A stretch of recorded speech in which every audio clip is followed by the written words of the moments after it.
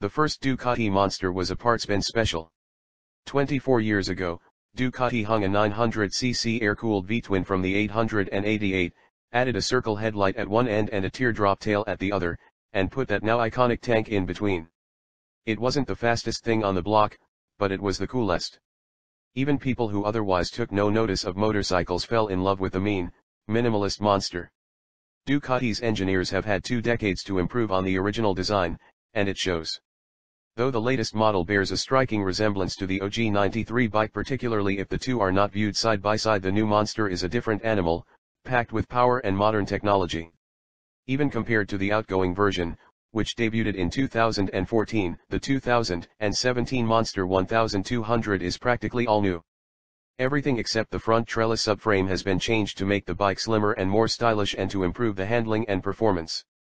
We recently spent a day exploring the mountain roads around Monaco on the S version, which has a fully adjustable Öhlins fork and shock as well as Brembo M50 calipers that bite 330mm discs, the standard model has 320mm discs, Brembo M432 calipers, a Kayaba fork, and a Sachs shock.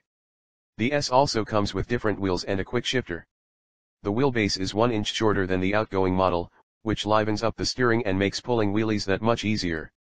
This is the first monster to be fitted with Bosch's excellent inertial measurement unit, IMU, which is the brains behind the fabled cornering ABS. It also powers the rest of the motorcycle stability control suite. The bike has traction control, wheelie control, cornering ABS, and rear wheel lift control. When choosing a bike with an IMU, it's essential to check whether the systems are individually adjustable and whether they reset every time you restart the bike. In this case, the settings are not reset every time, and it's possible to adjust each system independently, which allows the rider to focus on one skill at a time, and perhaps more importantly, to adjust the bike to road conditions. In a particularly twisty section of our ride, there were frequent wet patches, so I set the traction control to 1 and the wheelie control to 0, both on a scale of 0 to 8. On one wet corner, the traction control caught a slide as I accelerated away from the apex, then the front wheel rose into the air as the bike gained traction on a dry part of the road. It was brilliant. And it wouldn't have been possible with old, non-IMU traction control systems, which used ABS wheel speed sensors to compare the front and rear wheel speeds. In that case, a wheelie and a slide look the same, so traction control and wheelie control cannot be adjusted or turned off independently. Even if you are not pushing the limits, cornering ABS is great to have during mid-corner panic stops. Bosch's literature states that 67% of all accidents in Germany that are caused by two-wheelers and occur in curves could be positively influenced by MSC, and we're inclined to believe them.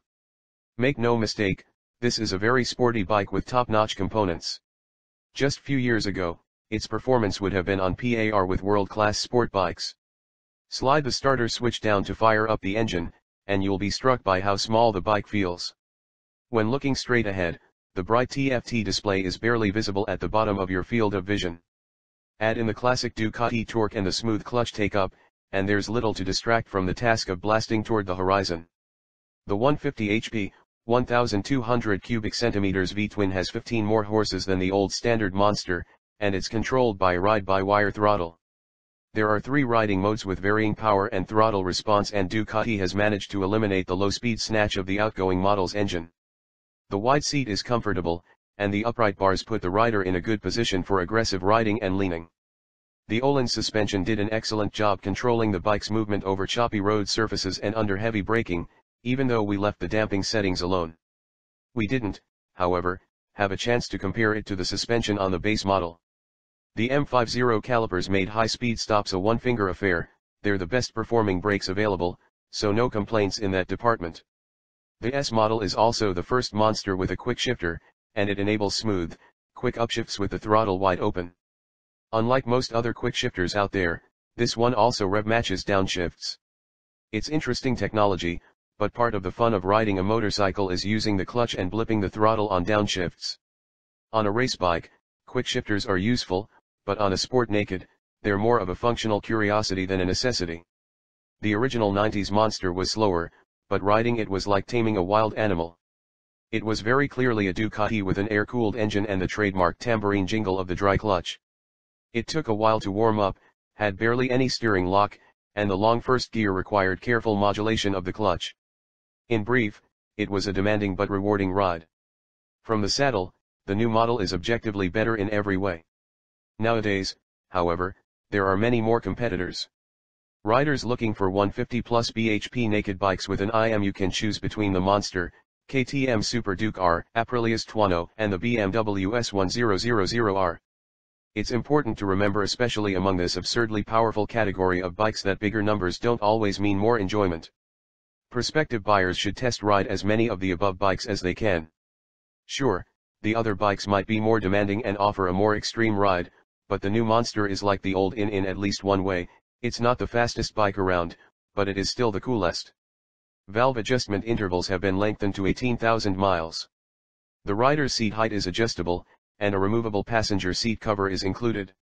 The base Monster 1200 is available in red for $14,695.